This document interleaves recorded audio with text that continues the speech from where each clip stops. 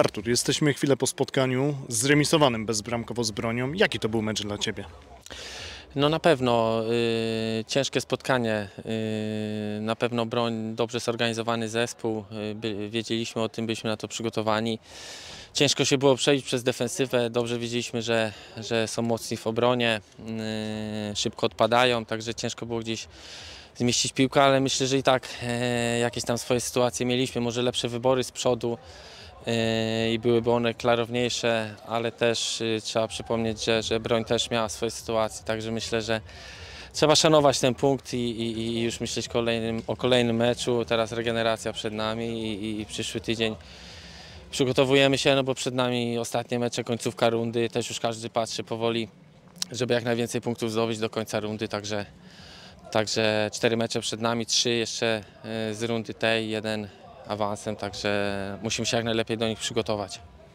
No, za co była ta żółta kartka? Ponieważ tam doszło do dosyć kuriozalnej sytuacji, ponieważ najpierw otrzymałeś kartkę, z tego co widziałem, a później sędzia podniósł chorągiewkę. Jak to wyglądało z Twojej perspektywy? Tak, no okazało się, że była pozycja spalona, a zanim yy, sędzia zauważył, że sędzia boczny podniósł chorągiewkę, no to tam w kontakcie byłem z przeciwnikiem, nie wiem czy falą na żółtą, tak ocenił, dał żółtą, cofnął spalonego, a żółtej nie, także nie wiem, najprawdopodobniej takie są teraz przepisy. Aż tak się nie zagłębiałem, to może, może trzeba będzie sprawdzić. Z pozytywów, e, nie wiem jak Ty to odbierasz, ale wydaje mi się, że to całkiem też mimo wszystko niezły wynik, ponieważ jest to piąty mecz rzędu, w którym udaje nam się zapunktować. Dokładnie, trzeba patrzeć w szerszej perspektywie od pięciu meczy, jesteśmy niepokonani.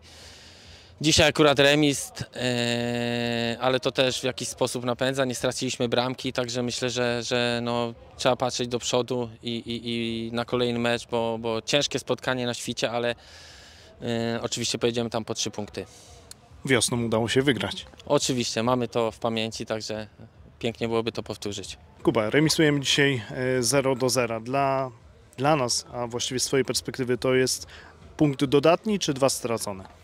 E, no na pewno czujemy niedosyt, bo, bo chcemy wygrywać każdy mecz, szczególnie na swoim boisku.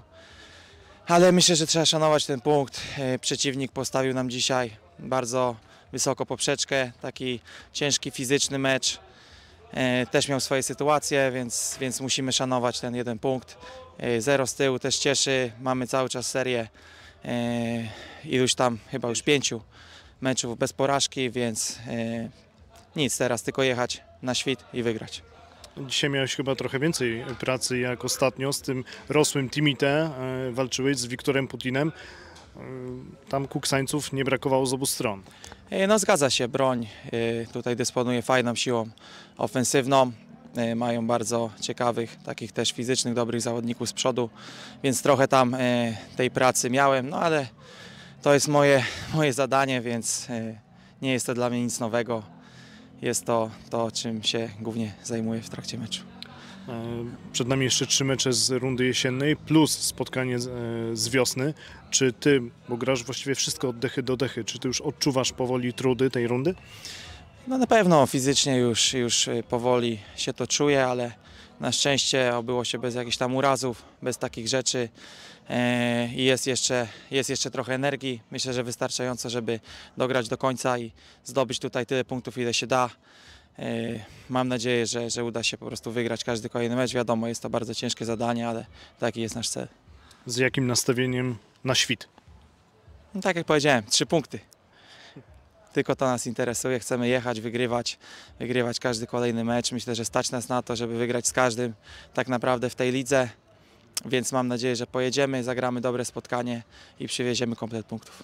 Przed naszą kamerą pomocnik broni, ale jeszcze nie tak dawno, myślę, że kibice pamiętają, pomocnik GKS-u Bełchatów. Wiktor, na początek zapytam Cię o ten dzisiejszy mecz. Dla Was ten wynik to jest punkt dodany, czy mieliście apetyt na więcej? To znaczy przed meczem może byśmy w ciemno brali ten remis. E, gdzieś tam mieliśmy te sytuacje do strzelenia dzisiaj w meczu i chyba jest niedosyt mały po tym meczu, bo były okazje, żeby to strzelić i wygrać. No ale 0-0 na wyjeździe, punkt jest, szanujemy go i idziemy dalej. A co sobie pomyślałeś, kiedy wysiadłeś z autokaru, kiedy po raz pierwszy dzisiaj wszedłeś na tą murawę?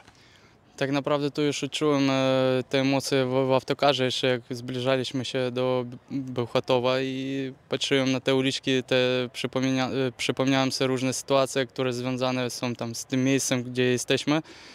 Na pewno dużo spędziłem tu pięknych chwil, było co wspomnieć. Teraz nawet byłem u chłopaków w szatni, powspominaliśmy się i fajnie, fajnie wrócić, bo tu naprawdę były piękne czasy i były awanse, i były wygrane. I na, na pewno cieszę się, że tu wróciłem, zobaczyłem chłopaków, trenerów, także fajnie, fajnie wrócić zawsze tutaj.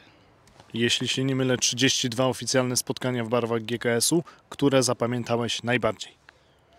O, na pewno ten awans z drugiej do, do pierwszej, bo to były takie emocje, które tam gdzieś po meczu czekaliśmy na wyniki innych drużyn. No i nawet teraz przypominam sobie czary, czary ale dużo było tak naprawdę. I tutaj miałem też e, fajne mecze, na przykład z Wigrami, Słowakami.